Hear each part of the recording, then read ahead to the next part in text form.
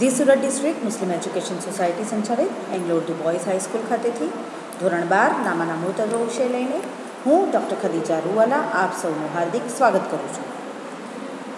મિત્રો, આપણે ધોરણ બાર એનો ભાગ બે અને એમાં પ્રકરણ ચાર નાણાકીય પત્રકોનું વિશ્લેષણ આજે શરૂ કરવા જઈ રહ્યા છીએ. એનાલિસિસ ઓફ ફાઇનાન્શિયલ સ્ટેટમેન્ટ જેને કહેવાય છે. આ પ્રકરણનો ગુણભાર કોવિડ નાઇન્ટીનની પરિસ્થિતિના કારણે જે ત્રીસ ટકા સિલેબસ બાકાત કર્યું છે, ત્યારબાદ આ પ્રકરણનો ગુણભાર છ કરેલ છે. તો છ ગુણમાં એક વિકલ્પ, એક સવાલ અને ચાર ગુણનો એક દાખલો વિભાગ ડીમાં પૂછાય છે અને એ હાલની કોવિડ નાઇન્ટીનની પરિસ્થિતિના કારણે પ્રશ્ન નંબર ઓગણચાલીસ કરવામાં આવેલ છે. જેમાં એક દાખલો ચાર ગુણનો પૂછાશે. મિત્રો, આ ચાર ગુણના દાખલામાં તમારે કોઈ પણ ત્રણ એમ લખેલું હશે, એટલે કે એક દાખલો તમારા માટે ઓપ્શનમાં નીકળી જશે.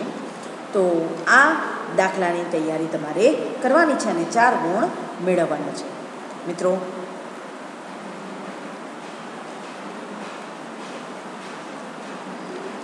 તો ચાલો શરૂ કરીએ આપણે. પ્રકરણ ચાર, નાણાકીય પત્રકોનું વિશ્લેષણ. નાણાકીય પત્રકોના વિશ્લેષણમાં જે જે પ્રકરણમાં રાખવામાં આવેલ છે, તે પ્રસ્તાવના, નાણાકીય પત્રકોનો અર્થ, નાણાકીય વિશ્લેષણનો અર્થ, વિશ્લેષણના પ્રકારો અને નાણાકીય પત્રકોના વિશ્લેષણના સાધનો તથા તુલનાત્મક પત્રકો ચૌદ નંબરનો મુદ્દો રાખવામાં આવેલ છે અને સ્વાધ્યાયના અમુક દાખલા બાકાત કરી દેવામાં આવ્યા છે. સામે મુદ્દા નંબર ત્રણ, ચાર, સાત, આઠ, નવ, દસ, અગિયાર, બાર આ મુદ્દાઓ પ્રકરણમાંથી રદ કરેલ છે અને એની સાથે સાથે જે ખૂટતી વિગતો શોધવાની હશે નાણાકીય પત્રકોમાં, પછી તે કોઈ પણ પત્રક હોય, નફા નુકસાનનું પત્રક હોય કે પાકા સર્વેયોનામાં તેમાં ખૂટતી વિગતો શોધવાના દાખલા આપણે ગણવાના નથી.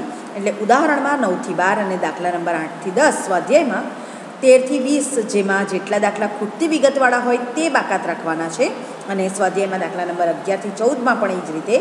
મુદ્દા નંબર પંદરમાં પણ જે ખૂટતી વિગતના દાખલા હશે આપણે, એ દાખલા જોવાના નથી.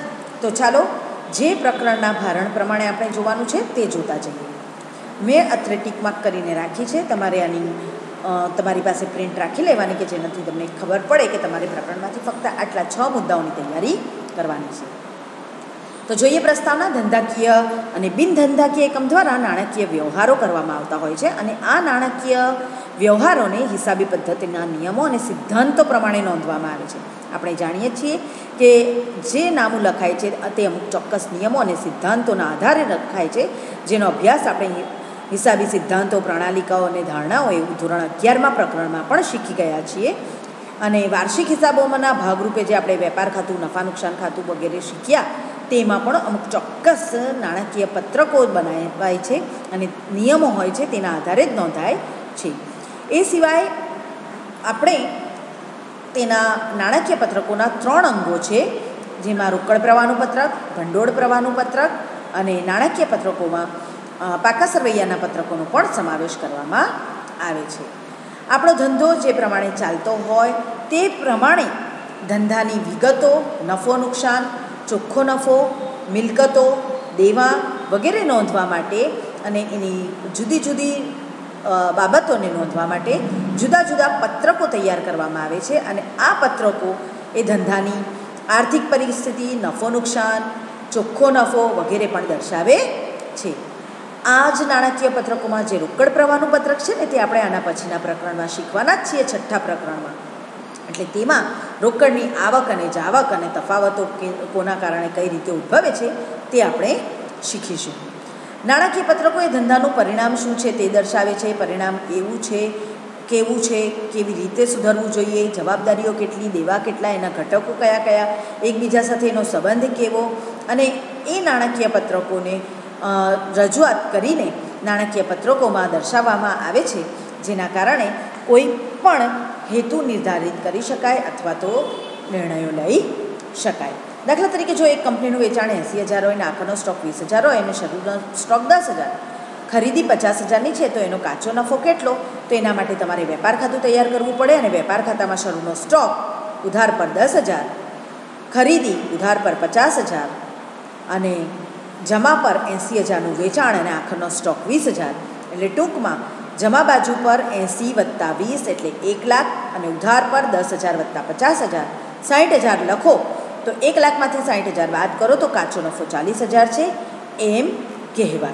મિત્રો, એની ગણતરી અત્યારે દર્શાવેલી છે. જુઓ વેપાર ખાતું. શરૂનો સ્ટોક, ખરીદી અને જમા પર વેચાણ અને આખરનો સ્ટોક. તો કાચો નફો થયો ચાલીસ હજાર. તો આ ફક્ત કાચો નફો છે. ખરીદ વેચાણના અંતે થયો છે એટલે વેપાર ખાતાની માહિતી પરથી આપણે નક્કી કર્યું પણ એ માહિતી પરથી આપણે કોઈ ચોક્કસ નિર્ણય પર પહોંચવું હોય તો તે માટે આપણે એક ચોક્કસ પત્રક બનાવવું પડે, જેમાં આ રીતે લખવું પડે. વેચાણ એંસી હજાર છે, ત્યારબાદ વેચેલા માલની પડતર જેમાં શરૂનો સ્ટોક વધતા ખરીદી. જો ખરીદ પરત હોત તો બાદ કરતે, બાદ આખરનો સ્ટોક. એમ મૂકીને આ પત્રક સ્વરૂપે આપણે ચાલીસ હજાર નફો દર્શાવ્યો આ રૂપિયામાં છે. જો એને ટકાવારીમાં કન્વર્ટ કરવું હોય અને કાચા નફાનું ગુણોત્તર નક્કી કરવો હોય, શોધવું હોય, તો કાચો નફો ભાગ્યા વેચાણ ગુણ્યા સો. એટલે ટકામાં તમને પચાસ ટકા કાચા નફો છે. જે વેચાણ સાથે સંબંધ ધરાવે છે. જો અન્ય પરિબળો યથાવત રહે તો વેચાણ પર કાચા નફાનો દર પચાસ ટકાનો છે એ બાબત આપણને નાણાકીય પત્રકોમાં રજૂ કરીને દર્શાવવામાં આવે છે. એને નાણાકીય પત્રકોનું વિશ્લેષણ કર્યું કહેવાય. તો નાણાકીય પત્રકોનું વિશ્લેષણ કયા સાધનો દ્વારા કરવામાં આવે છે? એનો ઉપયોગ કેવી રીતે કરવો? કોને ઉપયોગી છે? કયા હેતુસર કરવામાં આવે છે? એ બધું જ આની આગળના પ્રકરણમાં, પાંચમા પ્રકરણમાં આપણે અભ્યાસ કરેલો છે, એટલે ધંધાકીય એકમના નાણાકીય પત્રકો છે, આપણે કંપનીના વાર્ષિક હિસાબો સ્વરૂપમાં જોયા, તો તેમાં પણ તમને ખબર પડી જ ગઈ હશે. તો આગળ જઈએ, નાણાકીય પત્રકોનો અર્થ. તેની વ્યાખ્યા જોઈએ, તો ધંધાકીય અને બિન ધંધાકીય એકમો દ્વારા પોતાના હિસાબો રાખવામાં આવે છે, અને આ હિસાબો રાખવા અંગે હિસાબી પદ્ધતિના નિયમો, સિદ્ધાંતો, પ્રણાલિકાઓ અને ધારણાઓ ધ્યાનમાં લેવાય છે. તો નાણાકીય પત્રકો એ એવા પત્રકો છે કે જેના દ્વારા એકમની નાણાકીય પરિસ્થિતિ, ના વિવિધ પાસાઓના પરિણામોની જાણકારી મેળવી શકાય. આ એની વ્યાખ્યા થઈ. બરાબર યાદ રાખજો મિત્રો કે નાણાકીય પત્રકો એ એવા પત્રકો છે કે જેના દ્વારા એકમની નાણાકીય પરિસ્થિતિના વિવિધ પાસાઓની જાણકારી કે એના પરિણામોની જાણકારી મેળવી શકાય છે. ટૂંકમાં નાણાકીય પત્રકો એ ધંધાકીય એકમની વિગતવાર નાણાકીય પત્રકો પરિસ્થિતિ દર્શાવે છે અને વ્યવસ્થિત તૈયાર કરેલ અહેવાલ છે એમ કહેવાય. ત્યારબાદનો મુદ્દો છે નાણાકીય પત્રકોના ઉદ્દેશો અને પ્રકારો. એ હાલની કોવિડ નાઇન્ટીનની પરિસ્થિતિના કારણે આપણા અભ્યાસક્રમમાં નથી. મુદ્દા નંબર ચાર પણ નાણાકીય પત્રકોનું મહત્ત્વ પણ નથી, તો આપણે એનો અભ્યાસ કરતા નથી. છતાં હું મારા વોટ્સઅપ ગ્રુપમાં તમને લિંક મોકલું છું. જે લિંકમાં આ વસ્તુને આછો પાતળો ખ્યાલ આપેલ જ હોય છે. તો તેના દ્વારા જે વિદ્યાર્થીઓ વધુ અભ્યાસ કરવા માંગતા હોય કે જાણકારી મેળવવા માંગતા હોય, તેમણે તેનો અભ્યાસ કરી લેવો. ચાલો આગળ જઈએ. નાણાકીય વિશ્લેષણનો અર્થ. જો મિત્રો, પહેલાં આપણે જોયો નાણાકીય પત્રકોનો અર્થ. એ નાણાકીય પત્રકોનો અર્થ છે. અને હવે જોઈએ નાણાકીય વિશ્લેષણનો અર્થ. બંનેના અર્થમાં તફાવત છે, યાદ રાખજો. જે અર્થ પૂછાય તે જ લખવાનો. પત્રકને બદલે વિશેષણનો કે વિશ્લેષણના બદલે પત્રકનો અર્થ ન લખાઈ જાય તેની કાળજી રાખવાની. તો નાણાકીય પત્રકો તૈયાર કરવાનો હેતુ પૂર્વ નિર્ધારિત હોય છે. આ પત્રકો એ માહિતી અને પરિણામો રજૂ કરે છે. તો નાણાકીય પત્રકો તૈયાર થઈ ગયા બાદ તેમની પુનઃ ગોઠવણી કરીને તેમની તુલના થઈ શકે તે સ્વરૂપે તૈયાર કરવામાં આવે. તો તુલનાત્મક સ્વરૂપે તૈયાર થયેલા નાણાકીય પત્રકોને આધારે વિવિધ પક્ષકારો તેમને જરૂરી નિર્ણયો લેતા હોય છે. આ આખી પ્રક્રિયાને વિશ્લેષણ તરીકે કે નાણાકીય વિશ્લેષણ તરીકે ઓળખવામાં આવે છે. આ એનો અર્થ કે વ્યાખ્યા સમાઈ જાય એ રીતે આખો એનો અર્થ લખવાનો. જો નાણાકીય વિશ્લેષણનો અર્થ પૂછાય તો. નાણાકીય વિશ્લેષણના પ્રકારો કયા કયા? તો નાણાકીય વિશ્લેષણનો ઉપયોગ બાહ્ય હેતુસર અને આંતરિક હેતુસર બંને રીતે કરવામાં આવે છે. એટલે વિશ્લેષણ ઊભા અને આડા બંને સ્વરૂપે અને ટૂંકા ગાળા માટે કે લાંબા ગાળા માટે બંને રીતે હોઈ શકે. તો કઈ રીતે નાણાકીય વિશ્લેષણના પ્રકારો પાડ્યા છે? તો મુખ્યત્વે ત્રણ રીતે પ્રકાર પાડેલા છે. પહેલું પક્ષકારના આધારે. બાહ્ય પક્ષકાર અને આંતરિક વિશ્લેષણ એટલે બાહ્ય પક્ષકારો માટે બાહ્ય વિશ્લેષણ અને આંતરિક રીતે આંતરિક વિશ્લેષણ. આડા અને ઊભા સ્વરૂપે તો આડું વિશ્લેષણ, ઊભું વિશ્લેષણ પણ તમે કરી શકો છો. સમયના આધારે જો વિશ્લેષણ કરવું હોય તો લાંબા ગાળાનું વિશ્લેષણ અને ટૂંકા ગાળાનું વિશ્લેષણ કરી શકાય. જો પક્ષકારોના આધારે કરેલું હોય તો બાહ્ય પક્ષકારો એમની રીતે એ પત્રકો જુએ અને તેનું વિશ્લેષણ કરે. આંતરિક રીતે જે વ્યક્તિઓ હોય તે પોતાની રીતે એ પત્રકોને જોઈને વિશ્લેષણ કરતા હોય છે. ટૂંકમાં બાહ્ય પક્ષકારોમાં ધંધાકીય એકમની સાથે સંકળાયેલા રોકાણકારો નાણાકીય સંસ્થાઓ, સરકારી એજન્સીઓ ક્રેડિટ રેટિંગ એજન્સીઓ સંશોધનકર્તાઓ બધા જ આ પત્રકો, એટલે કે પાકા સરવૈયાનું પત્રક હોય કે રોકડ પ્રવાહનું પત્રક હોય વગેરેનો ઉપયોગ કરતા હોય, છે. એ ઓડિટરના અહેવાલ વગેરેનો પણ ઉપયોગ કરીને વિશ્લેષણ કરતા હોય છે. આંતરિક વિશ્લેષણ, તો ધંધાની સાથે સંકળાયેલા લોકો જ કરતા હોય એનું વિશ્લેષણ.